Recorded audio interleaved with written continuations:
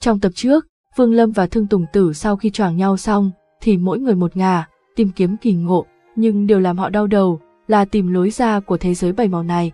Thương Tùng Tử vì cay cú Vương Lâm mà tìm cách phá hủy khe nứt không gian, vĩnh viễn nhốt Vương Lâm ở đây, nhưng cuối cùng bị Vương Lâm phát hiện mà bất thành.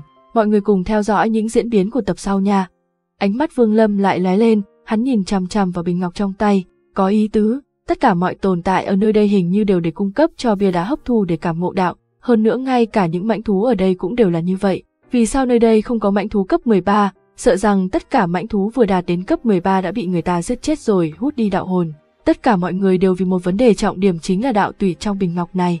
Nhưng đạo tủy đối với loại tu sĩ đại thần thông kia chỉ sợ không đơn giản chỉ dùng để uống. Lão già tóc trắng trên ngọn núi kia chắc chắn đang thủ hộ nơi đây để lấy cái gì đó. Có lẽ đạo tủy này có liên quan rất lớn đến vật mà lão già kia đang thủ vệ. Vương Lâm trầm ngâm một lúc rồi thu bình ngọc vào đặt trong lồng ngực.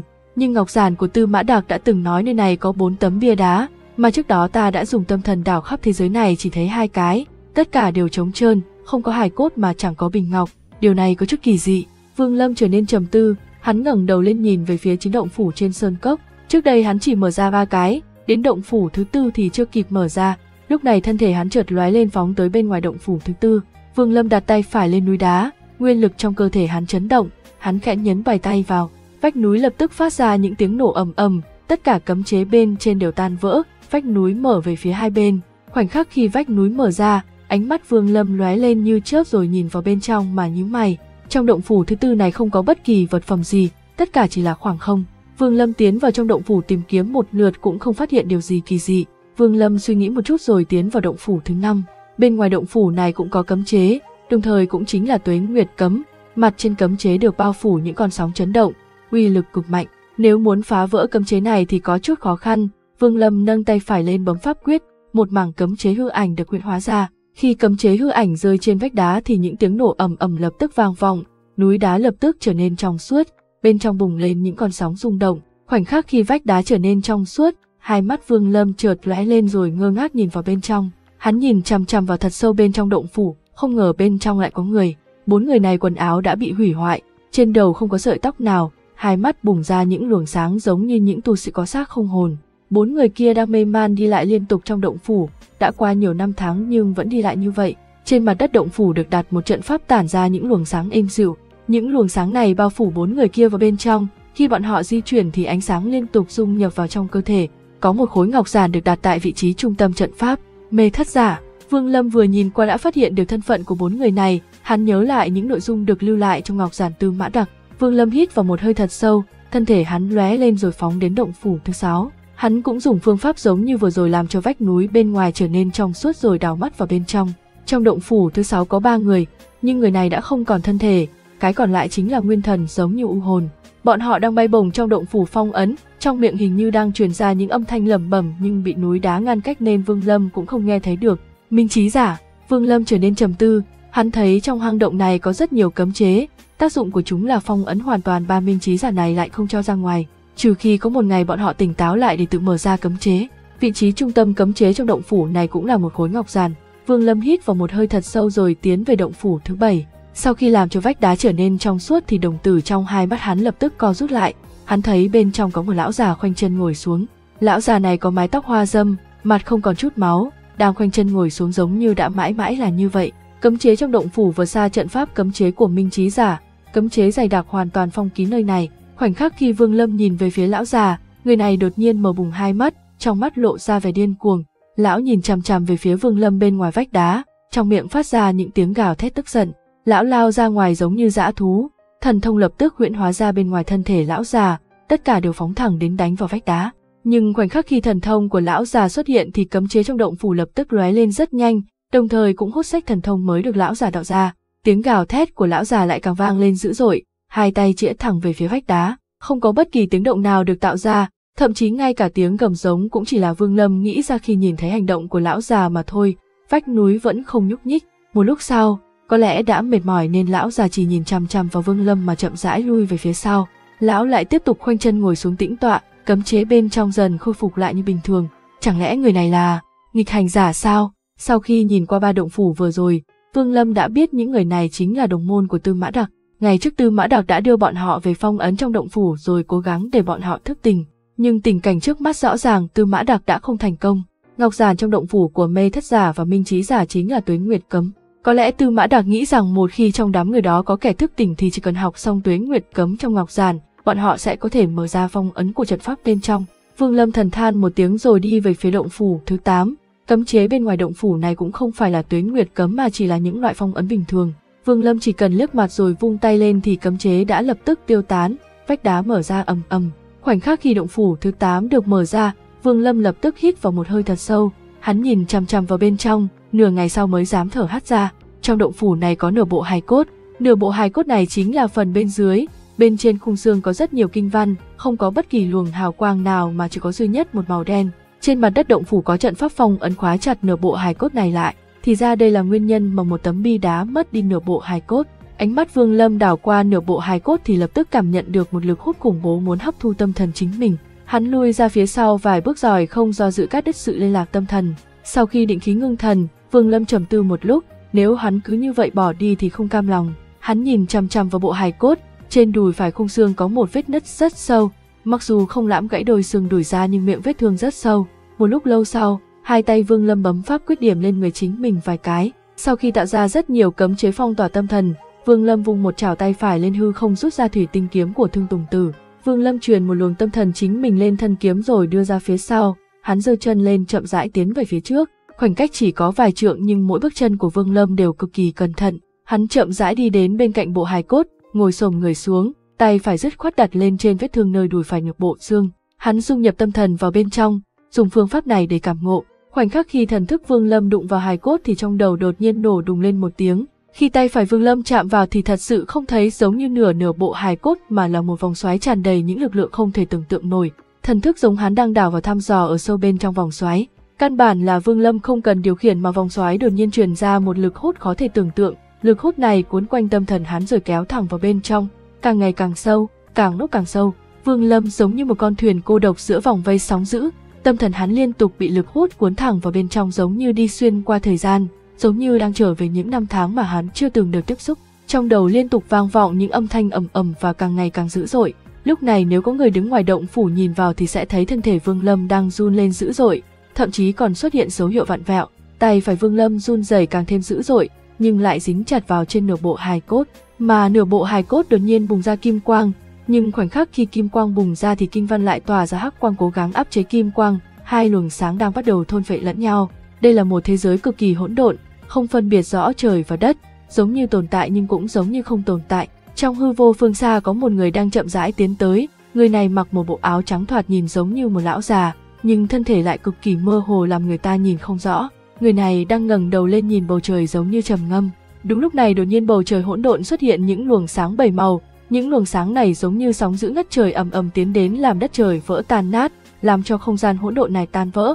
Lúc này thiên cũng không phải thiên, địa cũng không phải địa mà chỉ là một vùng tinh không, nhưng tinh không này cũng không phải tinh có màu đen mà có bảy mà. Lúc này đỏ mát nhìn lại thì tinh không này trở thành một thế giới bảy màu. Lão già áo trắng ngẩng đầu lên thật mạnh, tay phải vung lên trước người, đột nhiên có một chữ chiến hư huyễn ra, những luồng kim quang vô tạn vờn quanh bên ngoài làm tất cả hào quang bảy màu bị bước lui ra. Khoảnh khắc này một âm thanh cuồn cuộn đột nhiên vang vọng trong thiên địa, thiên địa mở thái, thiên đầu địa cuối, thứ lão phu tu luyện gọi là thiên địa thái, sơ quy tắc lấy bảy màu làm dẫn, phong, một chữ phong vang lên, đột nhiên tất cả những luồng hào quang bảy màu trên thế giới này vận chuyển ầm ầm, giống như có một luồng lực lượng đang điều khiển làm cho tất cả hào quang bảy màu vô biên vô tận điên cuồng hướng về phía lão già áo trắng ngưng tụ lại. Tình cảnh này hiện ra trong mắt Vương Lâm giống như thiên địa xoay chuyển tạo thành phong ấn. Sau khi tất cả ngưng tụ lại thì lão già áo trắng bên trong đã hoàn toàn bị phong ấn mà chết. Trên bầu trời đầy những áng mây bảy màu, giống như toàn bộ thế giới cũ đều đã tan vỡ.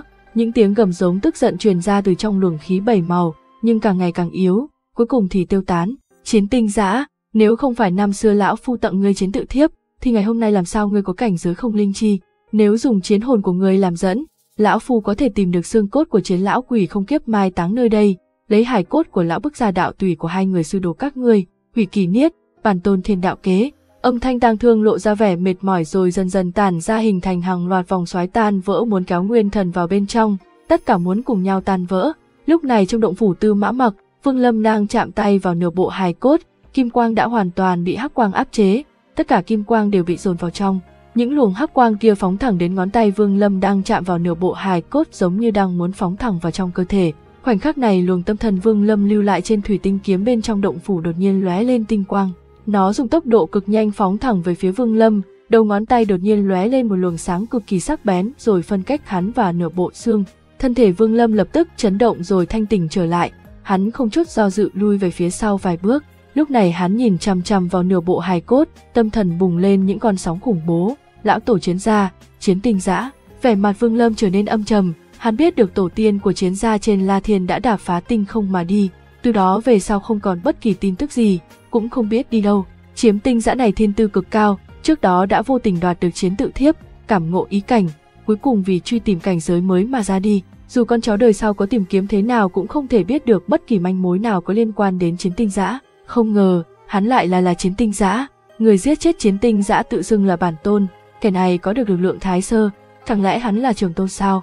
Vẻ mặt Vương Lâm càng trở nên âm trầm, khi nhớ lại tình cảnh vừa rồi thì không khỏi cảm thấy ớn lạnh trong lòng. Thần thông bảy màu cũng cùng loại với tàn dạ, nhưng lực lượng rõ ràng vượt xa tàn dạ. Kẻ kia chỉ cần một chiêu thần thông đã làm cho chiến tinh dã không có lực phản kháng. Vương Lâm cảm thấy miệng lưỡi khô đắng, trong lúc trầm tư đột nhiên nhướng mày lên, ánh mắt chợt lóe, nhưng ý niệm trong đầu Vương Lâm liên tục xoay chuyển, nhưng cũng không tìm ra bất kỳ manh mối nào. Không linh, không kiếp, đây là hai cảnh giới trong đệ tam bộ. Trước đó khi ta cảm ngộ chiến tự thiếp thì đã từng gặp một lão già, chiến tự thiếp chính là tranh của người này. Lão già này nói tu vi đạt đến cảnh giới phong không chi thì phải phá vỡ giới tuyến, chẳng lẽ chẳng lẽ lão già đó chính là chiến lão quỷ không kiếp trong miệng trường tôn sao? Từ những lời nói của tên trưởng tôn hư ảo kia thì thấy hắn rất e sợ chiến lão quỷ. Hắn vì muốn tìm được vị trí giấu xương cốt của chiến lão quỷ mà phải tìm đến chiến tinh dã tặng chiến tự thiếp, sau đó để cho chiến tinh dã tu luyện, cuối cùng lại giết chết để lấy hồn. Tất cả cũng vì một thiên đạo kế, nhưng thiên đạo kế này rốt cuộc là thứ gì? Trong đầu Vương Lâm càng ngày càng rõ ràng, dù cũng có vài điểm nghĩ không ra nhưng cũng hiểu được một vài chuyện. Bốn tấm bia đá, hai bộ hài cốt hoàn chỉnh, bộ xương đầu tiên là của chiến tinh dã, vậy thì bộ hài cốt thứ hai chẳng lẽ là của vị sư phụ của chiến tinh dã, chiến lão quỷ sao? Vương Lâm hít vào một hơi thật sâu, chiến tự đồ chính là tất cả đạo niệm mà chiến lão quỷ giữ lại ở nơi này. Vương Lâm dùng ánh mắt phức tạp nhìn vào bộ hài cốt bên trong, đặc biệt là khi thấy được trong bộ hài cốt mơ hồ lóe lên kim quang. Hắn trầm tư một lát, trong không gian chữ vật của hắn có chiến tự đồ, tổng cộng là ba bước, hai trong số đó đã bị Vương Lâm mở ra, nhưng chỉ có bức tranh thứ ba lấy được từ hậu nhân của chiến gia là chưa được mở. Lúc này hắn trầm tư nhìn bộ hài cốt trước mặt, đột nhiên vung tay phải lên không trung, không gian chữ vật lập tức xuất hiện. Trong không gian chữ vật bay ra ba vầng sáng hình tròn, chính là ba bức tranh chiến tự thiếp. Khi chiến tự thiếp xuất hiện thì kim quang đang bị dồn ép bên trong bộ hài cốt đột nhiên lóe lên dữ dội. Tất cả kim quang đều thoát khỏi bộ hài cốt phóng đến chiến tự thiếp. Chỉ sau khoảnh khắc kim quang đã dung nhập vào bên trong, kim quang lóe lên, ba bức tranh chiến tự thiếp lập tức dung hợp lại với nhau. Những biến hóa kỳ dị này không nằm ngoài dự đoán của Vương Lâm, ánh mắt hắn trở nên ngưng trọng nhìn chằm chằm vào ba bức tranh chiến tự thiếp đang dung hợp lại với nhau cũng một chỗ. Sau khoảnh khắc thì quá trình dung hợp chấm dứt, kim quang lập tức bùng lên chiếu sáng toàn bộ động phủ. Trước mặt Vương Lâm đột nhiên xuất hiện một chữ chiến kim sắc hư ảo, chữ chiến này lóe lên kim quang, một luồng khí tức cuồn cuộn truyền ra ngoài. Chiến tự thiếp đột nhiên phóng về phía Vương Lâm, hắn vung tay phải lên thu nó vào trong túi chữ vật. Người đoạt được chiến tự thiếp, trong lúc vô tình đã trở thành truyền nhân của chiến lão quỷ. Nhưng cũng chỉ vì ngươi mà tên trưởng tôn hư ảo kia biết được vị trí chôn cất thi hài của chiến lão quỷ. Rất nhiều năm sau, Vương Lâm lại lấy được chiến tự thiếp từ trong tay hậu nhân của ngươi. Hôm nay lại thấy được hài cốt của ngươi. Trong mắt Vương Lâm lộ ra vẻ phức tạp, hắn thở dài một tiếng rồi xoay người bước ra khỏi động phủ, sau đó dùng núi đá đóng kín lại. Vương Lâm không mở tòa động phủ thứ 9 ra vì cấm chế bên trên hắn không thể phá được. Hắn chỉ nhìn thấy bên trong tràn đầy sương mù, nhưng lại không biết rõ rốt cuộc trong đó có thứ gì. Vương Lâm quay lại nhìn bộ hài cốt của Tư Mã Mặc, hắn trở nên trầm tư. Một lúc sau, hắn rời khỏi chỗ này. Trước khi hắn đi đến tòa động phủ đầu tiên để lại rất nhiều nguyên tinh. Khi ra khỏi sơn cốc thì ánh mắt Vương Lâm lóe lên, hắn muốn đi đến địa phương mà trước đó tâm thần đã nhìn thấy tấm bia đá, đi xem nửa bộ hài cốt của chiến tinh giã. Sau khi lục soát ký ức của bàng Đức Tài và Thương Tùng Tử, Vương Lâm đã không còn xa lạ gì với thế giới bảy màu này nữa. Con đường dài và hẹp nơi đây đã khắc sâu vào trong trí óc của hắn. Lúc này hắn hóa thành một luồng cầu vồng, cũng không bay lên không mà lướt đi trên mặt đất. Sau khi xuyên qua một loạt sơn cốc, dần dần Vương Lâm cũng đi đến địa phương có trận pháp phong ấn lão bà áo xanh trận pháp đã bị mở ra, bên trong đã không còn bóng dáng của lão bà áo xanh. Vương Lâm khẽ đảo mắt nhìn qua nhưng không ngừng lại mà tiếp tục phóng thẳng vào trong dãy núi, tiến vào làn sương mù. Vương Lâm cũng rất quen thuộc đám sương mù bên trong, hắn phóng đi như tên bắn, bên tai vang lên những tiếng thì thào của Minh Chí giả. cũng có vài tên minh trí giả bay qua bên cạnh.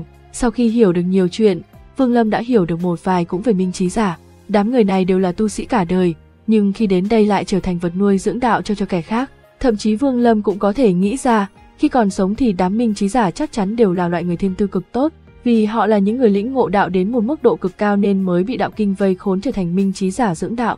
Trong lòng Vương Lâm thầm than nhưng hắn cũng không ngừng lại mà phóng thẳng về phía trước. Dần dần hắn thấy được trong sương mù có một tượng đá khổng lồ rồi dừng lại ở bên dưới. Ánh mắt Vương Lâm lại lóe, hắn nhảy dựng người phóng lên đầu tượng đá. Trong ký ức Thương Tùng Tử thì công pháp tu luyện của lão chính là thuật bách thế huyết nguyên hóa anh, triệu hồi ra đệ thất linh của phong giới. Chính Thương Tùng Tử đã cảm ngộ được nó trong tượng đá này. Loại công pháp huyết nguyên hóa anh này có thể tu luyện ra chín vật giống như nguyên anh, nhưng uy lực của nó lại vượt qua rất xa nguyên anh. Quan trọng là chín vật giống như nguyên anh này không phải từ trong nguyên thần ra, nó có thể làm cho mức độ tu luyện thuật thần thông của Thương Tùng Tử được đề cao lên 9 lần. Càng kinh người là mỗi tên nguyên anh đều có thể tự ngưng tụ thần thông giống như vậy, thường thì có một vài thần thông không thể đồng thời tu luyện đối với một số tu sĩ, dù muốn cũng phải lựa chọn ra cho mình. Ví dụ như lão bà áo xanh chọn tổ thuật dương tụ âm quy cũng là như vậy. Nhưng tất cả mọi chuyện sẽ chẳng là gì đối với thương tùng tử, lão có chín nguyên anh thì có thể đưa cho từng vật tu luyện. Người chẳng qua trước trận chiến với Vương Lâm, thương tùng tử đã bị lão bà áo xanh lấy mất một nguyên anh. Sau đó dưới hàng loạt đòn thần thông của Vương Lâm, hai người lưỡng bại câu thương cho nên không kịp thi triển ra được toàn bộ. Vương Lâm quanh chân ngồi trên đỉnh đầu tượng đá, hắn biết chuyện thương tùng tử khôi phục lại thân thể và trên mi tâm xuất hiện ký hiệu tia chớp có liên quan rất lớn đến tượng đá này. Một vật huyết anh của thương tùng tử được lưu lại để cảm ngộ ký hiệu tia chớp, dùng lực cảm ngộ mạnh gấp 9 lần, lão già mới miễn cưỡng nhận được một bộ phận truyền thừa của ký hiệu tia chớp trên mi tâm tượng đá. Lúc này Vương Lâm hít vào một hơi thật sâu, tâm thần tản ra bao phủ bốn phía tượng đá, tia chớp lóe lên trong mắt phải đột nhiên bùng ra vờn quanh thân thể.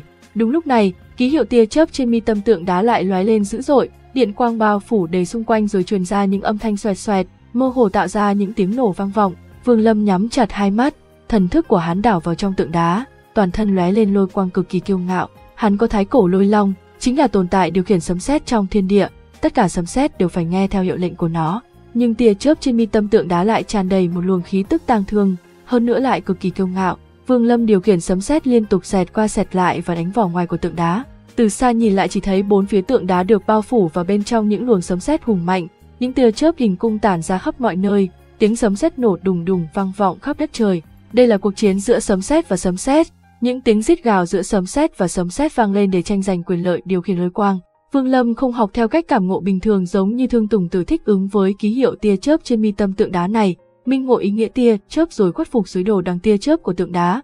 Như vậy sẽ trở thành một người hầu, mượn sức mạnh của sấm sét để tiến hành quá trình cảm ngộ, giống như người cầu xin tìm được kẻ bố thí, sau đó mới nhận được những lực lượng tia chớp còn sót lại trong tượng đá không biết đã tồn tại bao nhiêu năm. Thương Tùng Tử đã dùng những lực lượng này hóa thành thần thông của chính mình, thậm chí còn có thể triệu hồi ra đệ thất linh của phong giới. Dù Vương Lâm có thân thể cổ thần cũng phải bị thương. Thương Tùng Tử lựa chọn con đường quy thuận, tượng đá này là thần linh trong lòng. Lão dùng một nguyên anh đi tu luyện những công pháp đã được cảm ngộ, vừa tu hành vừa cúng bái. Con đường này không nguy hiểm, chỉ cần người có đủ tư chất là đạt được. Nhưng Vương Lâm sao lại phải chọn phương pháp này được? Bản thân hắn còn dám nghịch cả thiên đạo, một đời tung hoành khắp trời đất, phong vân một cõi, có gan đấu thiên, nghịch tu thành đạo, tranh đấu với thiên kiếp. Vương Lâm sẽ không bao giờ bước chân lên con đường của Thương Tùng Tử, không bao giờ thờ phụng tượng đá này. Dù lực lượng ẩn giấu trong tia chớp của tượng đá này cũng đủ để kinh thiên động địa, hơn nữa còn dẫn động được đệ thất linh của phong giới. Cái Vương Lâm muốn chính là bắt buộc tia chớp trong tượng đá phải khuất phục, phải khuất phục dưới hắn. Lúc này hắn không muốn cảm ngộ tượng đá, hắn bắt buộc tia chớp này phải phục tùng, phải hướng về phía hắn mà thờ phụng. Đây chính là sự kiêu ngạo của hắn, cũng chính là kiêu ngạo của kẻ nghịch tu, cũng chính là tôn nghiêm của cổ thần.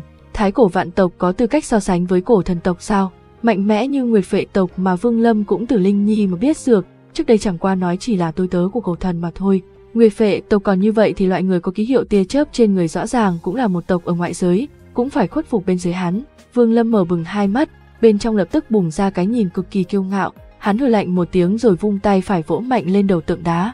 Những tiếng nổ ầm ầm đột nhiên vang vọng, tượng đá này không tan vỡ mà bùng ra những luồng sấm sét kinh thiên động địa. Sấm sét này phóng thẳng về phía chân trời rồi hóa thành một con rồng gầm giống phóng về phía Vương Lâm. Khi con rồng phóng tới thì sấm sét khắp bốn phía, lập tức bị hấp thu.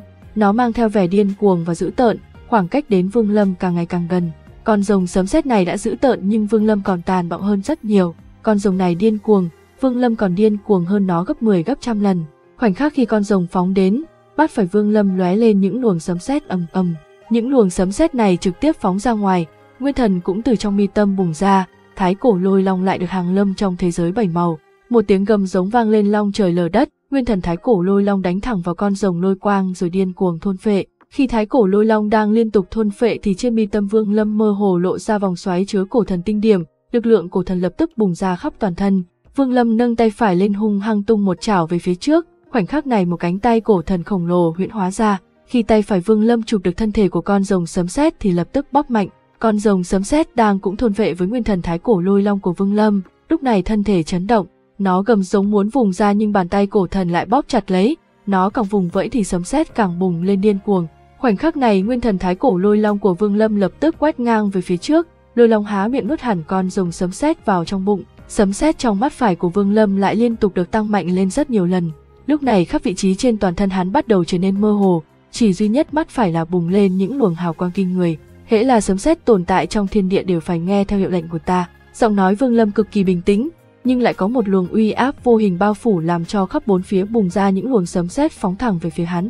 Tất cả đều ngưng tụ lại trong mắt tạo thành một ký hiệu hình tia chớp. Khoảnh khắc khi ký hiệu tia chớp này xuất hiện trong mắt Vương Lâm thì tượng đá bên dưới lập tức ầm ầm xuất hiện rất nhiều vết nứt. Những vết nứt này bắt đầu từ hai chân rồi điên cuồng lan ra những vị trí khác nhau, giống như đang có những con rồng phóng thẳng từ dưới chân lên vị trí đỉnh đầu bức tượng. Những âm thanh két két vang lên kinh thiên động địa, hàng loạt tia chớp lóe lên trong những khe nứt dày đặc. Khi tất cả vết nứt liên tục phóng lên thì bức tượng đá lập tức xuất hiện dấu hiệu tan vỡ, nhưng nó vẫn đứng yên bất động. Chỉ trong khoảnh khắc những vết nứt ẩn dấu sấm sét đã tới bên cạnh Vương Lâm, những tiếng nổ ầm ầm kinh thiên vang lên, vị trí đỉnh đầu tượng đá bên ngoài thân thể hắn đột nhiên lóe lên rất nhiều tia chớp, đám tia chớp này lại dung hợp với nhau tạo thành một quả cầu lôi quang trăm trượng. Vương Lâm đang đứng trong quả cầu lôi quang, những luồng sấm sét nào vùng vẫy giống như không muốn nghe theo sự điều khiển của hắn, tất cả liên tục có rút lại rồi phóng thẳng đến. Một tiếng hừ lạnh vang lên, toàn thân Vương Lâm lập tức được bao phủ trong sấm sét. Tu vi của hắn không đủ để chống lại tượng đá nhưng nguyên thần lại là lôi long giữa đất trời. Hắn chính là AF người điều khiển sấm sét trong thiên địa. Trước mặt hắn chỉ cần là sấm sét thì không có tư cách phản kháng.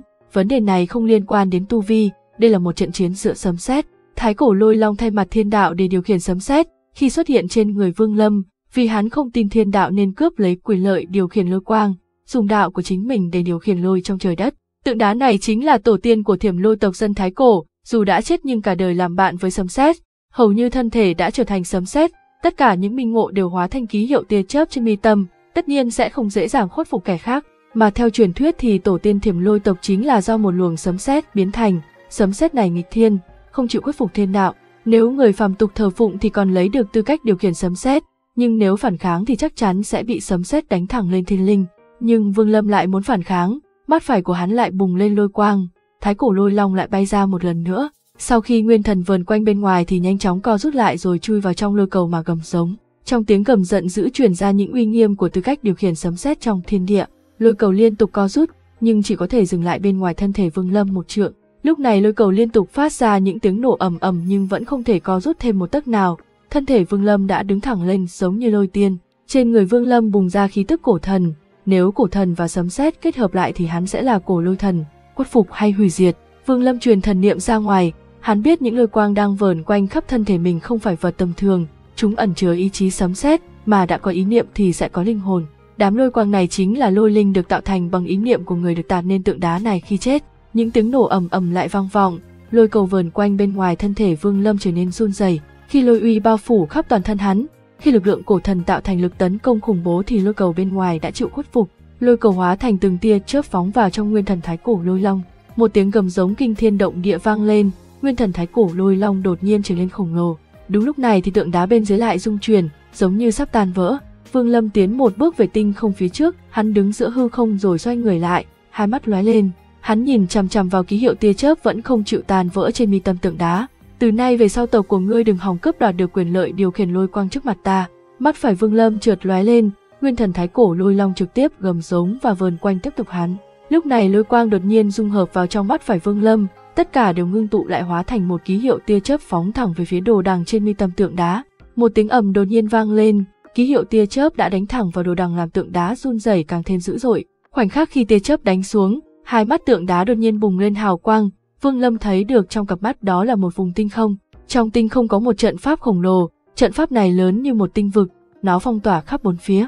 Bên ngoài trận pháp đang có những loại người kỳ dị đứng chi chít, vẻ mặt đám người này rất cổ quái, rõ ràng không phải là tu sĩ, tất cả đều mang theo nụ cười chế giễu và khinh thường, kẻ nào cũng nhìn chằm chằm vào trận pháp trước mặt. Trận pháp kia được tiên khí bao phủ, những luồng nguyên lực phát ra tiếng nổ vang vọng. Lúc này có rất nhiều luyện khí sĩ và tiên nhân đang điên cuồng tấn công trận pháp, cố gắng phá trận thoát ra ngoài. Nhưng trận pháp này lại cực kỳ quỷ dị, dù đám luyện khí sĩ và tiên nhân kia công kích mạnh mẽ thế nào cũng không động đậy, thậm chí còn có rất nhiều tiên nhân chọn phương pháp tự bạo thân thể, nhưng cũng không làm trận pháp kia rung chuyển. Khoảnh khắc này bầu không khí trong trận pháp được bao phủ trong tuyệt vọng và đau thương.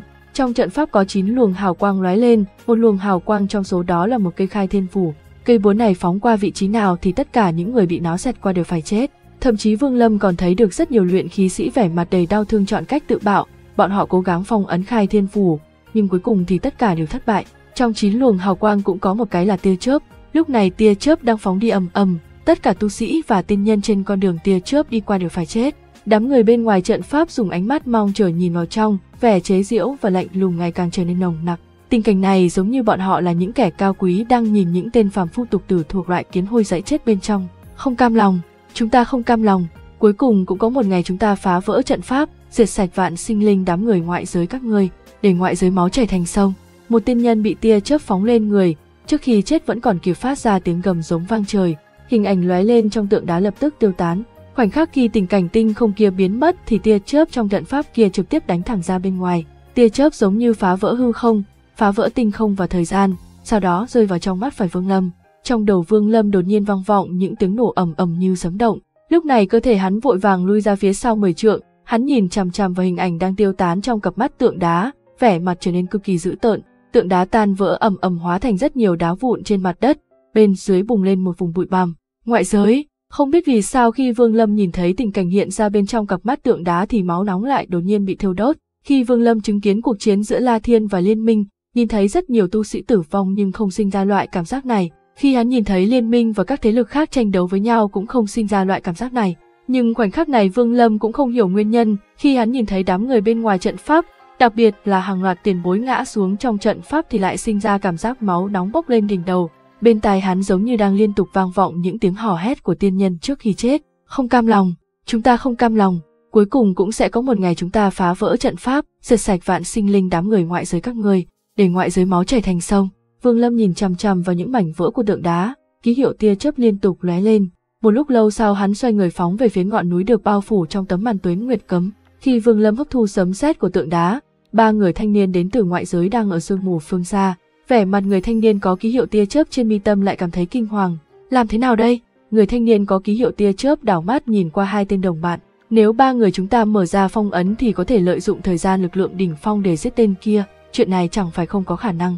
Người thanh niên có ký hiệu ngọn lửa chậm rãi mở miệng nói, không bằng chúng ta bỏ đi, bẩm báo tin tức khe nứt không gian này cho trường lão biết, để bọn họ tự định đoạt. Ta vẫn cảm thấy có một dự cảm không tốt. Người thanh niên có ký hiệu tia chớp do dự một chút rồi khẽ nói, muốn có bảo vật phải đưa thân vào chỗ nguy hiểm. Người thanh niên có ký hiệu trăng lưỡi liềm trên mi tâm giống như đã hạ quyết tâm, hắn cắn răng nói. Người thanh niên có ký hiệu tia chớp lại trở nên trầm mặc, trong mắt bùng ra vẻ hoang mang, hắn không tiếp tục nói nhiều mà lo tìm kiếm dấu vết sấm sét. Lúc này thân thể hắn phóng thẳng về phía trước, hai tên kia bám theo phía sau rồi biến mất trong sương mù. Hình bóng Vương Lâm lóe lên như tia chớp, hắn liên tục phóng đi như tên bắn trong sương mù. Một lát sau hắn đã đi đến địa phương trước đó cùng tranh đoạt bình ngọc với Thương Tùng Tử. Hắn nhìn tấm màn cấm chế trước mặt mà ánh mắt chợt lóe lên. Nếu tấm màn cấm chế này vẫn còn nguyên vẹn hoặc thời gian bị phá đã rất lâu thì Vương Lâm muốn mở ra cũng cực kỳ khó, trừ khi hắn phải vứt bỏ rất nhiều pháp bảo. Nhưng lúc này cấm chế vừa mở ra chưa được mấy tháng, trước đó tâm thần Vương Lâm ở vào trạng thái mê man nhưng vẫn còn nhớ rất rõ trên tấm màn cấm chế này có một vết nứt khó thể nhìn thấy. Vết nứt này chính là do Thương Tùng Tử và lão bà áo xanh phá vỡ trước đó, không khó để làm cho vết nứt này mở ra một lần nữa. Hai tay Vương Lâm bấm pháp quyết, từng luồng cấm chế phá diệt cấm trực tiếp hóa thành tàn ảnh xuất hiện. Chỉ sau khoảnh khắc tấm màn cấm chế đã bị bao phủ trong phá diệt cấm, tất cả cấm chế bao phủ bên ngoài chợt lóe lên, tấm màn cấm chế đột nhiên vang vọng những con sóng rung động. Vương Lâm vẫn nhìn chằm chằm về phía trước không chớp mắt, thần thức của hắn tản ra quan sát thật chặt chẽ. Không lâu sau hai mắt hắn trở nên ngưng trọng, hắn lập tức tìm được vị trí trước đó đã bị phá vỡ. Vết nứt này tuy đã khép lại nhưng tuế nguyệt cấm bên trên vẫn chỉ có mấy tháng, trừ khi trải qua rất nhiều năm, nếu không thì sơ hở này sẽ mãi giữ lại. Đây cũng là một sơ hở tai hại của tuế nguyệt cấm. Sau khi tìm được vết nứt, Vương Lâm vung một chảo tay phải lên hư không, thủy tinh kiếm lập tức xuất hiện trên tay rồi quét ngang về phía trước, kiếm quang đột nhiên lóe lên, một luồng khí tức thứ không biết vang vọng khắp bốn phía. Thiên địa đột nhiên bùng lên những luồng hào quang rực rỡ, một luồng kiếm quang gào thét phóng về phía vết nứt. Những âm thanh ầm ầm lập tức vang lên, những con sóng rung động lập tức vang vọng dữ dội, một vết nứt rất nhỏ xuất hiện bên dưới kiếm quang. Khoảnh khắc khi vết nứt xuất hiện thì thủy tinh kiếm đã tiến sát bên. Thanh kiếm này được Vương Lâm điều khiển bùng lên những luồng kiếm khí vô tận bao phủ bốn phía, những tiếng nổ ầm ầm vang lên, vết nứt vàng lúc càng lớn. Đúng lúc này thân thể Vương Lâm đột nhiên nhảy dựng lên, hắn vung một chảo tay phải lên hư không, tam xoa kích đột nhiên xuất hiện trong tay. Lúc này tam xoa kích bùng ra những luồng hắc quang vô tận, hắn cầm tam xoa kích, thân thể phóng thẳng về phía vết nứt tạo ra những tiếng nổ ầm ầm như lưu tinh. Vương Lâm dùng tốc độ cực nhanh, hầu như chỉ trong nháy mắt đã tiến đến bên cạnh. Tam xoa kích đột nhiên nổ ầm một tiếng rồi đâm vào khe nứt. Một luồng lực lượng khủng bố từ trong tấm màn cấm chế truyền theo tam xoa kích vào trong cơ thể Vương Lâm. Lúc này Vương Lâm hừ lạnh một tiếng, lực lượng cổ thần đã bao phủ khắp thân thể, tay phải hắn đẩy mạnh về phía trước, những âm thanh ầm ầm vang lên, tam xoa kích trực tiếp xuyên qua tấm màn. Khi Vương Lâm nhảy dựng lên thì một tiếng xoạc vang lên, vết nứt vừa mới khép lại mấy tháng đã bị xé toạc ra tạo thành một lỗ hổng dài vài trượng. Vương Lâm vung một chảo tay trái lên, thủy tinh kiếm bay về trong tay, hắn lóe người lên tiến thẳng vào trong khe nứt rồi phóng thẳng về phía ngọn núi bên trong. Vương Lâm chỉ đảo mắt qua động phủ ở giữa ngọn núi, tam xoa kích trong tay hắn quét về phía trước, những âm thanh ầm ầm đột nhiên vang vọng, hư vô trước mặt hắn lập tức lóe lên rồi xuất hiện một khe nứt không gian. Vương Lâm biết rõ vị trí này vì ký ức của Thương Tùng Tử và lần đầu tiên hắn đi theo đến đây đã quan sát rất kỹ, hơn nữa tâm thần hắn cũng đã tiến vào chỗ này. Khi khe nứt không gian xuất hiện thì Vương Lâm cất bước trực tiếp tiến vào bên trong. Không lâu sau khi hắn tiến vào thì ba người thanh niên ngoại giới đã đến bên ngoài tấm màn cấm chế. Ba người này đưa mắt nhìn nhau, ai cũng cắn răng trực tiếp đi xuyên qua vết nứt trên tấm màn cấm chế bị Vương Lâm xé toạc ra. Sau khi ba người tiến vào bên trong thì trực tiếp phóng thẳng về phía ngọn núi. Lúc này Vương Lâm tiến vào một không gian kỳ dị, hắn nhìn thấy một tấm bia đá khổng lồ trước mặt, ánh mắt hắn ngưng tụ, hắn đi về phía trước, ánh mắt chuyển lên tấm bia đá rồi dần rơi xuống bên dưới. Hắn thấy được nửa bộ hài cốt đang bị hai cây đinh bảy màu ghim chặt lên tấm bia đá. Trên hài cốt mơ hồ lưu chuyển những luồng hào quang làm cho khung xương mơ hồ bùng ra một luồng cảm giác hấp dẫn khó hiểu, có thể làm cho kẻ khác điên cuồng. Vương Lâm tiến vào từng bước, khi đi tới bên cạnh bộ hài cốt thì nguyên thần trở nên ngưng trọng. Lúc này hắn không nhìn hài cốt mà lại chuyển lên trên bia đá. Tấm bia đá này cũng không biết dùng vật liệu gì để tạo thành, bên trên bao phủ một luồng khí tức tang thương, ẩn chứa dấu vết năm tháng. Sau khi nhìn thật kỹ thì Vương Lâm nhíu mày, dù nhìn thế nào hắn cũng cảm giác được vật liệu này vó vẻ quen mắt, nhưng hắn cũng không nghĩ ra chính mình gặp qua vật tương tự thế này ở nơi nào. Vương Lâm trầm mặc một lúc, ánh mắt hắn lại đào lên nửa bộ hài cốt bên dưới bia đá. Dù hắn đã rất cẩn thận nhưng thần trí vẫn bị hấp dẫn, nhưng hắn đã sớm có chuẩn bị. Đây cũng không phải lần đầu tiên nhìn thấy nửa bộ xương này nên hắn lui về phía sau và bước thì lập tức khôi phục trở lại. Ánh mắt Vương Lâm lóe lên, hắn không do dự mà trực tiếp mở khe nứt không gian chữ vật, chữ chiến hư ảo đang bùng ra kim quang từ trong khe nứt chữ vật bay ra. Khoảnh khắc khi chữ chiến vừa xuất hiện, nửa bộ hài cốt lập tức lóe lên kim quang, một luồng kim quang từ trong khung xương bùng ra, lúc này trên nửa bộ xương có hai màu đen và vàng giao thoa vào nhau rồi liên tục biến hóa. Cuối cùng kim quang lóe lên trong nửa bộ xương rồi phóng ra ngoài dung hợp vào chữ chiến bên trên. Khoảnh khắc này toàn bộ trời đất lập tức được bao phủ trong kim quang. Trong khoảng thời gian cực ngắn, những luồng kim quang bùng ra trên chữ chiến lập tức dùng tốc độ cực nhanh trực tiếp phóng tới rồi dung nhập vào trong mi tâm của Vương Lâm. Khoảnh khắc này tâm thần hắn lập tức chấn động, lão phu là chiến tinh dã, biết được trưởng tôn muốn làm lão phu phải khuất phục, nhưng chiến mỗ là tu sĩ La Thiên, thả tan vỡ đạo niệm chứ không cầu kết với người ngoại giới. Người nào đoạt được đạo niệm của ta hãy cảm ngộ chiến ý, nếu sau này thành công thì giết sạch dân ngoại giới tế linh hồn lão phu. Tâm thần Vương Lâm bao phủ trong luồng chiến ý ngập trời, trong đầu lại hiện lên tình cảnh chiến tinh dã tranh đấu cùng thiên địa, hàng loạt hình ảnh hiện lên, một luồng cảm ngộ cực kỳ sâu sắc đối với một chữ chiến bùng ra làm ý cảnh của hắn điên cuồng tăng mạnh. Lúc này ý cảnh mơ hồ xuất hiện dấu hiệu dung nhập với chiến ý, xuất hiện những biến hóa kinh người. Khi Vương Lâm vẫn còn ở vào trạng thái cảm ngộ thì không gian nơi đây đột nhiên xuất hiện dấu hiệu vạn vẹo, ba người đến từ ngoại giới tiến thẳng vào trong. Người thanh niên có ký hiệu ngọn lửa trên mi tâm dùng ánh mắt tham lam nhìn chằm chằm vào Vương Lâm, với khoảng cách quá gần hắn có thể rõ ràng cảm nhận được luồng lực lượng ngọn lửa điên cuồng trên người đối phương. Sau khi thôn phệ hắn, ta có thể tăng cấp. Tâm thần người thanh niên trên mi tâm có ký hiệu tia chớp bên cạnh lại càng trở nên chấn động. Hắn nhìn chằm chằm vào Vương Lâm và cảm nhận được luồng lực lượng sấm sét khủng bố trên cơ thể đối phương, đồng thời hắn cũng biết được đối phương đang ở trong một trạng thái cực kỳ quỷ dị. Cơ hội trời ban, chỉ có người thanh niên trên mi tâm có ký hiệu trăng lưỡi liềm khi nhìn thấy hình bóng của Vương Lâm thì tâm thần cố gắng áp chế rung động, đồng tử trong hai mắt hắn co rút lại, một tình cảnh đã rất lâu rồi được chôn sâu trong ký ức lại xuất hiện trong lòng. Đúng là hắn, hành động của ba người thanh niên đều nhanh như chớp, tất cả đều mang theo một luồng sát khí điên cuồng phóng thẳng về phía Vương Lâm. Khi ba tên này tiến lên thì tay phải cũng bấm niệm pháp quyết rồi vỗ mạnh lên mi tâm. Ba tiếng nổ ầm ầm khá nhỏ trở nên vang vọng, thân thể ba người này đột nhiên sinh ra những thay đổi kinh người. Thân thể người thanh niên có ký hiệu tia chớp đột nhiên phóng lớn lên, khoảnh khắc sau đã hóa thành một người cao lớn hơn 10 trượng, toàn thân bao phủ trong ánh chớp. Sau lưng người thanh niên có ký hiệu ngọn lửa đột nhiên xuất hiện một đôi cánh lửa, trên đầu mọc ra một cây sừng. Toàn thân hắn được bao phủ trong ngọn lửa, vẻ mặt lộ ra vẻ đau khổ và dữ tợn. Người thanh niên có ký hiệu trăng lưỡi liềm là cổ quái nhất, cơ thể hắn không xảy ra nhiều thay đổi nhưng làn da lại trở nên trong suốt giống như ánh trăng. Điều này làm kim quang nơi đây càng trở nên chói lọi. Nhưng khoảnh khắc khi bọn họ tấn công thì Vương Lâm xoay người lại, hai mắt hắn đột nhiên trở nên thanh tĩnh, khóe miệng lộ ra nụ cười chế giễu.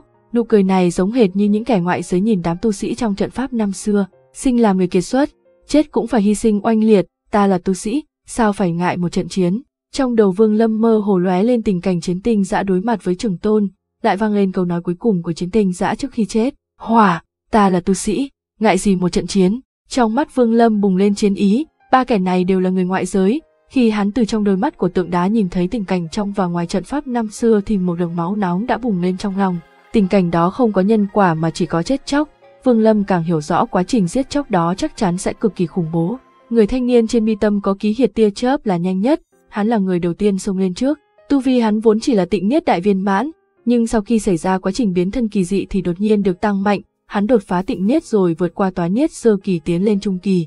Cả đời Vương Lâm chưa từng biết đến được loại thần thông đạt đến mức độ này, đây cũng không phải là ẩn giấu tu vi mà khoảnh khắc này đám người trước mặt đang sử dụng một pháp thuật gì đó để mượn lực lượng thiên địa tăng cường tu vi bản thân.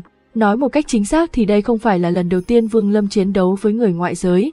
Năm xưa trong hư vô ở bên cạnh Vọng Nguyệt, hắn đã từng chiến đấu với người ngoại giới ngoài trận pháp, nhưng lúc đó tu vi của Vương Lâm không đủ để người ta coi trọng, càng không thể có tư cách quyết định vận mệnh của mình. Nhưng bây giờ hắn đã có tư cách để chế giễu, hắn dùng ánh mắt lạnh lùng nhìn ba kẻ kia phóng đến với vẻ mặt dữ tợn. Người thanh niên có ký hiệu tia chớp phóng về phía trước mà toàn thân lóe lên lôi quang, những âm thanh xoài xoài vang lên đồng thời còn có sấm sét phóng theo. Tiếng nổ ầm ầm vang vọng giống như thân thể kẻ này đã hóa thân thành sấm sét, hắn lấy tốc độ cực nhanh phá vỡ hư không mà tiến đến. Hai tay hắn bấm pháp quyết, tia chớp khắp bốn phía lập tức ngưng tụ thành một hình bóng khổng lồ. Hình bóng này cao trăm trượng, khắp toàn thân là những tia chớp màu xanh, trên mi tâm cũng có một đồ đằng hình tia chớp, đặc biệt là đôi mắt, nếu người khác nhìn vào thì tâm thần chắc chắn sẽ chấn động. Thiểm lôi băng, người thanh niên có ký hiệu hình tia chớp đột nhiên khẽ quát một tiếng quỷ dị, khoảng cách đến Vương Lâm càng lúc càng gần. Lôi, vẻ chế giễu trong mắt Vương Lâm càng lúc càng nồng đậm, khoảnh khắc này mắt phải lóe lên sấm sét, trong luồng sấm sét này cũng có một ký hiệu tia chớp bùng ra ngoài. Vương Lâm tiến về phía trước một bước, khoảnh khắc này thiên địa trong mắt hắn đột nhiên trở nên cực kỳ chậm chạp, tất cả thứ xảy ra giống như đang nằm trong nước, giống như đông cứng lại. Ba tên phía trước, dù là người thanh niên có ký hiệu tia chớp phóng đi với tốc độ nhanh nhất cũng chậm đi rất nhiều và không đáng nhắc tới trong mắt Vương Lâm. Hắn tiến lên phía trước một bước, tiếng sấm nổ ầm ầm còn chưa kịp vang lên thì đã tiến đến trước mặt người có ký hiệu tia chớp. Vương Lâm nâng tay phải lên, bàn tay mang theo sấm sét vỗ thẳng xuống ngực người thanh niên. Bàn tay phải chuyển trường thành chỉ, một chỉ, hai chỉ, ba chỉ, bốn chỉ. Chỉ sau khoảnh khắc, hai ngón tay phải Vương Lâm hóa thành kiếm rồi điểm ra liên tiếp. Những tiếng nổ ầm ầm vang vọng, vẻ mặt người thanh niên có ký hiệu tia chớp đột nhiên trở nên tái nhợt, ánh mắt lộ ra vẻ rung động, hắn há miệng phun ra máu tươi, trước ngực trở nên huyết nhục mơ hồ, một mảng thịt lớn trước ngực lóe lên sấm sét, một mạng lưới sấm sét lấy ngực người thanh niên có ký hiệu tia chớp làm trung tâm mà tràn ra khắp thân thể. Tình cảnh này xảy ra nhanh như chớp, nhanh đến mức căn bản làm cho người ta không kịp phản ứng. Trong mắt hai người ngoại giới còn lại, Vương Lâm chẳng qua chỉ vừa xoay người, thân thể không chút di động, chỉ có nụ cười chế giễu lóe lên trong đồng tử. Nhưng khoảnh khắc này thân thể người đồng bạn bên cạnh lập tức phóng ngược trở lại, máu tươi phun ra. Lúc này những tiếng sấm sét cào thét mới phá vỡ hư không rồi vang lên bên tai, mượn lực lượng tổ tiên lôi quang, giúp ta thôn phệ tu sĩ phong giới này. Thân thể người thanh niên có ký hiệu tia chớp phát ra những âm thanh ầm ầm, xương cốt bên trong đã gãy hơn phân nửa, thân thể hơn 10 trượng lui hẳn ra sau. Lúc này sấm sét khắp toàn thân đã tan vỡ, trên thân thể lại được bao phủ trong lưới điện giống như đã bị phong ấn. Khi máu tươi bao phủ toàn thân, người thanh niên này ngẩng đầu rồi gầm lên một tiếng kinh thiên động địa, vẻ mặt dữ tợn của hắn lộ ra vẻ điên cuồng, nhưng vẻ điên cuồng của hắn hiện lên trong mắt Vương Lâm lại ẩn giấu sự tuyệt vọng và sợ hãi. Khoảnh khắc khi người thanh niên có ký hiệu tia chớp gầm lên giận dữ, bên ngoài thân thể hắn lập tức xuất hiện một bóng hình hư ảo trăm trượng, hình bóng hư ảo đột nhiên lại trở nên ngưng thực, thiên địa vang lên những tiếng nổ ầm ầm, những luồng sấm sét vô tận lại xuất hiện rồi phóng thẳng về phía hình bóng hư ảo. Khi lôi quang bao phủ khắp bốn phía, hình bóng hư ảo đột nhiên giống như hóa thân của thiên lôi. Vẻ mặt Vương Lâm vẫn lạnh lùng, thân thể hắn cũng không ngừng lại mà tiếp tục tiến lên phía trước một bước. Khi một bước phóng ra, chân giả ý cảnh của Vương Lâm cũng bùng ra giống như một bước này đạp lên lồng ngực của người thanh niên có ký hiệu tia chớp. Một tiếng ầm vang lên, người thanh niên có ký hiệu tia chớp lại phun ra máu tươi, tay phải đè mạnh lên ngực, nhưng trái tim của hắn bị một bước ý cảnh của Vương Lâm trực tiếp đánh tan. Vương Lâm cũng không thèm nhìn kẻ này, hắn lại tiến thêm một bước giống như phóng thẳng lên trời. Hắn tiến về phía trước hư ảnh, tay phải tùy tiện vỗ ra. Đúng lúc này lôi quang trong mắt phải Vương Lâm bùng lên dữ dội, ký hiệu tia chớp trong mắt trực tiếp lao ra. Khoảnh khắc sau khi ký hiệu tia chớp đã rơi trên mi tâm hư ảnh trăm trượng, từ nay về sau bộ tộc của ngươi đừng hòng cướp đoạt quyền lợi điều khiển lôi quang trước mặt ta. Những âm thanh âm trầm mang theo uy nghiêm đột nhiên vang vọng trong thiên địa, giống như pháp tắc, giống như quy tắc, còn ẩn giấu lực lượng quyết tâm và ý chí kiên định phong ấn một tộc. Lời nói này giống như lôi quang đang thu hồi tư cách điều khiển lực lượng sấm sét đã từng được ban cho thiểm lôi tộc. Hình bóng hư ảo chấn động rồi ầm ầm tan vỡ hóa thành những luồng sấm sét vô tận hàng lâm về phía người thanh niên có ký hiệu tia chớp. Những tiếng nổ ầm ầm trở nên vang vọng, thân thể người thanh niên kia tan vỡ trong nháy mắt, sau đó hóa thành một đám bụi đen tiêu tán trong hư không. Nguyên thần người này bị sấm sét bao phủ vào bên trong giống như tất cả sấm sét trong thiên địa đều bị hấp thu. Nhưng khi Vương Lâm xoay người, những tia chớp kia lại lập tức quay trở về trong mắt phải, ký hiệu tia chớp bên trong lại càng rõ ràng. Tất cả mọi chuyện đều xảy ra trong khoảnh khắc, hai mắt người thanh niên trên mi tâm có ký hiệu ngọn lửa lập tức co rút lại, trên mặt lộ ra vẻ sợ hãi khó thể tưởng tượng. Thân thể người này đang phóng về phía trước đột nhiên ngừng lại rồi muốn lui về phía sau. Lúc Vương Lâm xoay người lại thì ánh mắt đã rơi trên người tên thanh niên có ký hiệu đồ đằng ngọn lửa. Hỏa, vẻ chế giễu trong mắt Vương Lâm lại càng đậm, khoảnh khắc này mắt trái đột nhiên bùng lên ánh lửa ngập trời, ngoài thân thể cũng có một biển lửa trực tiếp bao phủ một chu vi mấy trăm trượng. Vẻ mặt người thanh niên có ký hiệu đồ đằng ngọn lửa lập tức trở nên tái nhợt, hắn muốn lui về phía sau nhưng bốn phía đều nằm trong biển lửa. Hắn vùng vẫy rồi gầm nhẹ lên một tiếng, cặp cánh do ngọn lửa biến thành ở sau lưng đột nhiên vỗ lên, trong thân thể bùng ra rất nhiều ánh lửa. Những luồng lửa đỏ này vần quanh thân thể người thanh niên tạo thành một cơn bão lửa rồi phóng thẳng về phía Vương Lâm. Vương Lâm vung tay phải lên, biển lửa trong phạm vi mấy trăm trượng đột nhiên bùng lên dữ dội rồi điên cuồng quét ngang qua người thanh niên có ký hiệu đồ đằng ngọn lửa. Đây là cuộc chiến giữa lửa và lửa. Trong khoảnh khắc hai ngọn lửa giống nhau những được hai người khác nhau điều khiển đánh thẳng vào nhau, những tiếng nổ ầm ầm kinh thiên động địa vang lên. Cuối cùng một tiếng đùng vang lên, ký hiệu đồ đằng ngọn lửa từ trên cơ thể người thanh niên kia lao ra khỏi biển lửa. Cặp cánh lửa giống như chu tước cũng mang theo một ngọn lửa màu tím phóng về phía Vương Lâm. Ngươi không phải người, cũng chẳng phải chu tước, chẳng qua chỉ là một tên ngoại giới mà thôi. Ngọn lửa trong mắt trái Vương Lâm bùng lên khắp toàn thân, một bộ giáp chu tước đột nhiên huyễn hóa ra bên ngoài cơ thể. Khoảnh khắc này hắn giống như một cổ hỏa thần.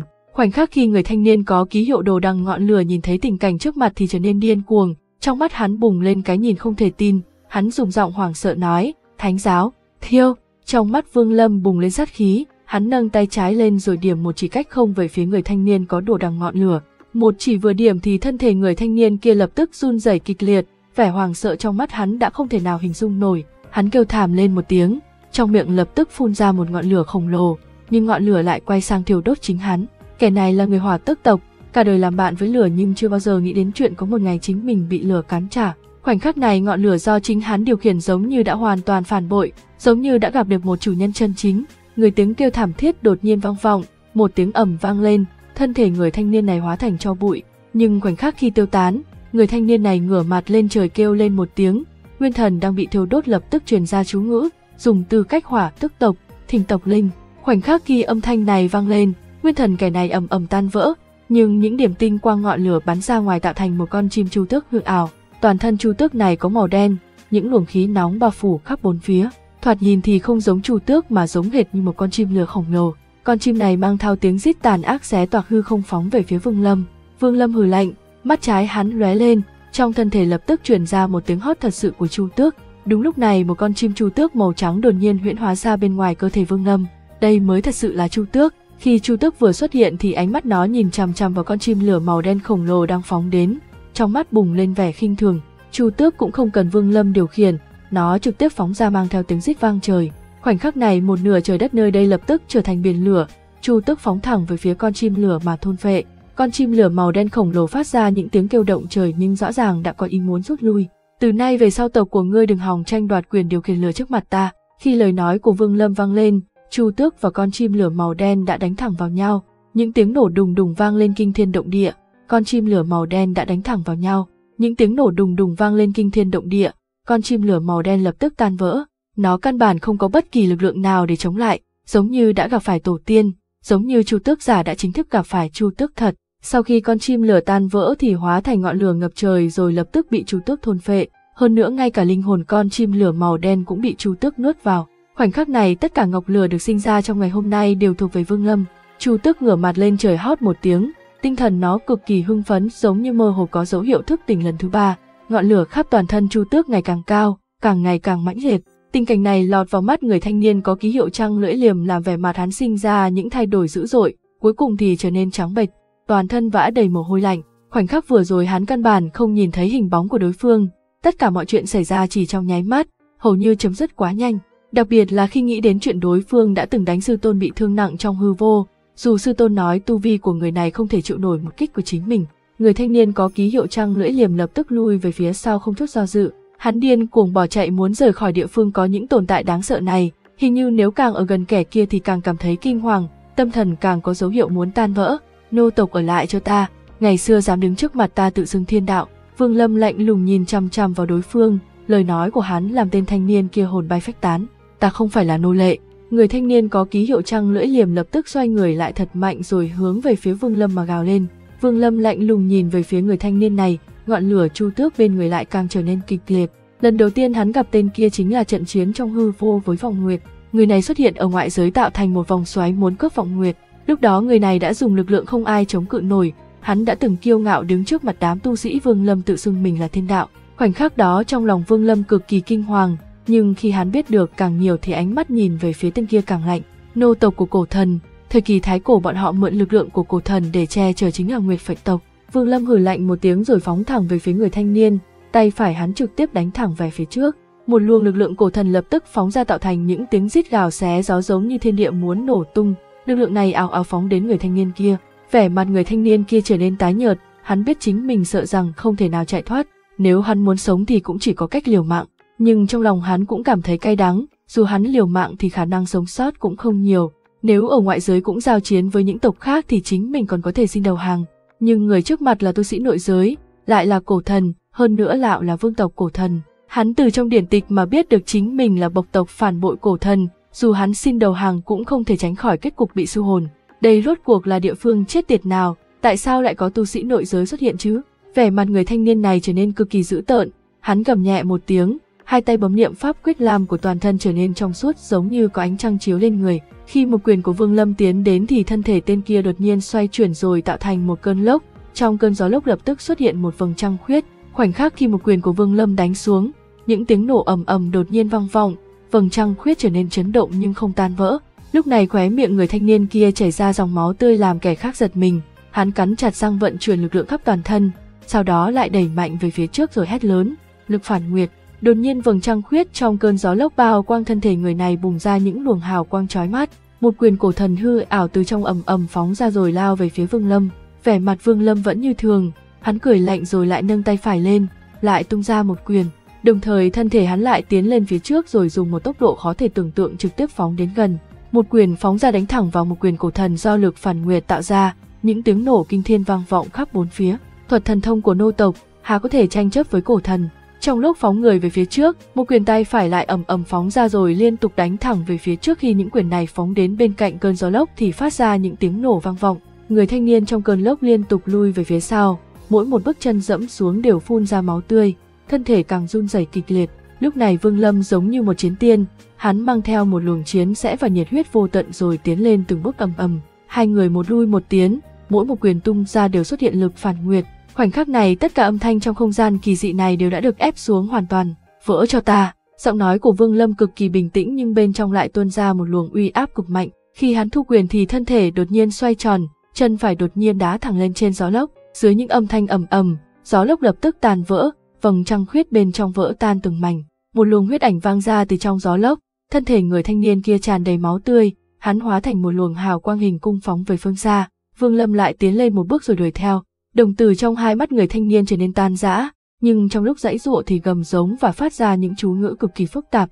Đúng lúc này hắn dùng hai tay bấm pháp quyết rồi nhanh chóng điểm lên mi tâm, nguyệt cấm, thần nộ, Thanh niên này biết được Nguyệt Vệ tộc mình có một thần thông rất cổ xưa, được gọi là cấm thuật, nếu chẳng phải chuyện vô cùng nguy cấp thì không được sử dụng, bởi vì thần thông này cực kỳ khuất nhục đối với Nguyệt Vệ tộc. Khi tiếng gầm này vang lên, khoảnh khắc Vương Lâm đi tới bên cạnh thì người này lập tức quỳ gối xuống mặt đất, hai tay hắn nâng lên cao tạo thành một ấn quyết rất cổ quái, hắn quỳ xuống bái lạy, mượn thần hồn lực dung nhập vào người Nguyệt Phệ tộc. Khi âm thanh này vang lên, một luồng lực lượng cổ thần cực kỳ khủng bố đột nhiên hiện lên bên ngoài thân thể người thanh niên. Ngay sau đó, không gian sau lưng người này đột nhiên vặn vẹo rồi xuất hiện một hư ảnh cổ thần vài trăm trượng. Thân thể cổ thần này cực kỳ mơ hồ, hai mắt nhắm nghiền nhưng bảy cổ thần tinh điểm trên mi tâm lại sáng rực. Cầu xin hồn cổ thần tộc ban thưởng lực lượng cho nô tộc Nguyệt Phệ, ngăn cản bước tiến của kẻ địch. Trong lòng người thanh niên kia cảm thấy rất tức giận và nhục nhã, nhưng tình cảnh này quá mức nguy hiểm nên không cần quan tâm giọng nói khàn khàn của hắn trở nên vang vọng. Cổ thần hư ảo phía sau đột nhiên mở bừng mắt lộ ra những luồng sáng tăng thương và tàn bạo. Hư ảnh chậm rãi nâng tay phải lên rồi tung một quyền ầm ầm về phía Vương Lâm. Trong mắt người thanh niên kia lóe lên cái nhìn độc ác, trong lòng hắn đang điên cuồng gào thét, nếu ngươi là cổ thần, thì ta muốn để cho cổ thần các ngươi tàn sát lẫn nhau. Trong mắt Vương Lâm lộ ra vẻ bi ai, hắn đảo mắt nhìn qua một quyền đang phóng tới của cổ thần hư ảo, hắn than nhẹ một tiếng, trên mi tâm đột nhiên hiện lên cổ thần tinh điểm, khi tinh điểm xoay tròn thì khí tức cổ thần lập tức bao phủ khắp bốn phía. Bọn ngươi là những kẻ bảo vệ cho bộ tộc đã phản lại cổ thần, nghe theo mệnh lệnh của vương tộc cổ thần Vương Lâm ta, bọn ngươi hãy tán đi. Ngôn ngữ của cổ thần từ trong miệng Vương Lâm truyền ra rồi tạo thành một con sóng rung động lan tràn khắp bốn phía. Một quyền của cổ thần hư ảo đột nhiên hơi khựng lại, trong mắt bùng lên vẻ mê man và giải thoát, sau đó dần dần tiêu tán. Cổ thần tộc đã rất lâu rồi không xuất hiện vương tộc, linh hồn cổ thần che chở cho nguyệt tộc cũng chỉ là một ý niệm, một luồng ý chí mà thôi năm xưa vương tộc cổ thần đã hạ lệnh che chở cho nô tộc nguyệt phệ nên toàn tộc cổ thần đã chấp hành theo không chút do dự. Đã rất nhiều năm trôi qua, dù bọn họ đã chết nhưng ý chí vẫn còn tồn tại trong thiên địa, bọn họ cần tiếp tục che chở cho nô tộc. Muốn chuyện này chấm dứt thì trừ khi một vương tộc mới xuất hiện rồi hạ lệnh cho bọn họ vứt bỏ ý chí che chở này đi, như vậy quy ước mới được xóa bỏ. Khoảnh khắc này ngày hôm nay lời nói của Vương Lâm chính là ý chí của vương tộc cổ thần. Người thanh niên kia trở nên sững sờ, với tri thức của hắn sao lại biết đến điều bí mật của bộ tộc cổ thần trước mặt một vương tộc cổ thần như Vương Lâm. Từ nay về sau cổ thần sẽ không che chở cho Nguyệt vệ tộc nữa. Đây là câu nói cuối cùng truyền lại vào tai người thanh niên kia. Vương Lâm tiến lên tung một cước quét ngang, xương cốt toàn thân tên kia tàn vỡ nhưng thân thể lại không vỡ nát. Tên này bị Vương Lâm đá trúng, thân thể hắn lập tức văng thẳng về phía bộ hài cốt bên dưới tấm bia đá. Một tiếng nổ ầm ầm vang lên, thân thể người thanh niên kia trực tiếp đập lên nửa bộ hài cốt, hai vai hắn tuôn ra máu tươi rồi ghim vào hai cây đinh bảy màu. Những tiếng kêu đau khổ đột nhiên vang lên kinh thiên động địa, khi thân thể bị hai cây đinh bảy màu ghim chặt thì đạo niệm sẽ bị hút đi điên cuồng, đồng thời ngay cả linh hồn cũng giống như bị nghiền nát, loại cảm giác đau đớn này không phải những kẻ bình tĩnh có thể chịu đựng được. Vương Lâm không trực tiếp giết chết mà để cho người thanh niên kia chịu những đau đớn mà chiến tinh dã đã từng nhận được năm xưa. Tên kia liên tục bị tra tấn chờ cái chết tiến đến. Thân thể tên thanh niên dưới bia đá liên tục run rẩy, hắn muốn vùng ra nhưng không thể. Ngay cả nguyên thần của hắn cũng không chạy thoát, bị phong ấn lại trong cơ thể. Vương Lâm chậm rãi đi vào, hắn nâng tay phải đặt lên thiên linh tên thanh niên, thần thức hắn bùng ra cưỡng ép siêu hồn. Sau khi lấy được ký ức thì người thanh niên kia đã rơi vào trạng thái hấp hối, nhưng lúc này nỗi đau lại càng trở nên dữ dội làm hắn không thể chết ngay, lại càng không thể tự hủy hoại. Hắn chỉ biết ở trong tra tấn vô tận mà chậm rãi tử vong. Vương Lâm thu hồi cánh tay phải rồi than nhẹ một tiếng. Khoảnh khắc này ngọc lửa chu tước trên người Vương Lâm đã đạt đến một độ cao mới, ngọn lửa điên cuồng thiêu đốt rồi liên tục kéo lên chu tước đệ tam biến. Đúng lúc này hư vô giới tinh không mênh mông trong phong giới, ngoài trận pháp phong thiên tỏa địa bao phủ cả tinh vực, tinh không nơi này được gọi là thái cổ tinh vực, cũng được gọi là ngoại giới. Trong thái cổ tinh vực, trong tinh vực mênh mông có một đối phương của một bộ tộc thái cổ uy danh hiển hách, chính là thiểm điện tộc. Trong đối phương của thiểm điện tộc có hàng loạt sấm sét tồn tại vĩnh hằng, vạn năm không tiêu tán những luồng sấm sét này đến từ hư vô, lúc nào cũng phát ra những tiếng nổ ầm ầm. Thiểm điện tộc lập ra một miếu thờ trên vùng đất có sấm sét, nó được dùng để thờ phụng lôi quang. Nhưng khi người thanh niên có ký hiệu tia chớp trên mi tâm chết trong thế giới bảy màu, khi Vương Lâm thu hồi lực lượng sấm sét thì những lôi quang trong đối phương thiểm điện tộc chưa bao giờ tiêu tán và trải qua muôn đời lại phát ra những tiếng sấm động kinh thiên trước nay chưa từng có. Những âm thanh này làm thiểm điện tộc phải kinh hoàng, đồng thời tất cả bộ tộc thiểm điện đang ở trên những tinh vực khác đều chấn động tâm thần. Vẻ mặt đám người trong tộc thiểm điện đều có biến đổi lớn, khoảnh khắc khi bọn họ điên cuồng đào thần thức ra thì phát hiện những luồng sấm sét đã tồn tại muôn đời đột nhiên tiêu tán giống như bị người ta lấy đi. Sau 10 lần hít thở, những luồng sấm sét kia lại xuất hiện một lần nữa, nhưng tình cảnh xảy ra trước mắt lại làm cho tất cả thiểm điện tộc phải cảm thấy kinh hoàng. Trong thái cổ tinh thần có một địa vực là vị trí của hỏa tức tộc, nơi đây rất giống với Chu Tức Thánh Tông, đối phương này được bao phủ trong lửa, giống như lúc nào cũng bùng lên thiêu đốt. Càng thêm giống Chu Tước Thánh Tông chính là trong đối phương này có rất nhiều thứ giống như Chu Tước đứng thẳng người trên hàng loạt miếu thờ nhưng những Chu Tước này có toàn thân màu đen giống như chim lửa. Khoảnh khắc khi người có ký hiệu đồ đằng ngọn lửa phải chết và bị Vương Lâm thu hết toàn bộ lực lượng thì tất cả chim lửa trong đối phương hỏa tức tộc đều chấn động ầm ầm rồi phát ra những tiếng hót tàn bạo chấn động đất trời. Hàng loạt vết nứt ken kết xuất hiện, bà phò tượng chim lửa lập tức tan vỡ làm tất cả hỏa tước tộc phải kinh hoàng.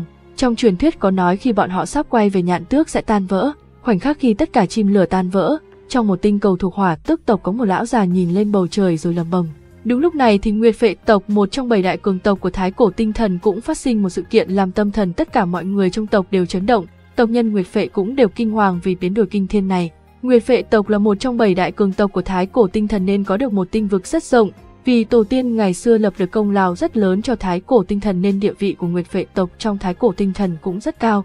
Bọn họ có ba người là trưởng tôn của hội trưởng lão, vì vậy mà Nguyệt Phệ tộc được hưởng vinh hoa phú qua rất nhiều năm tháng.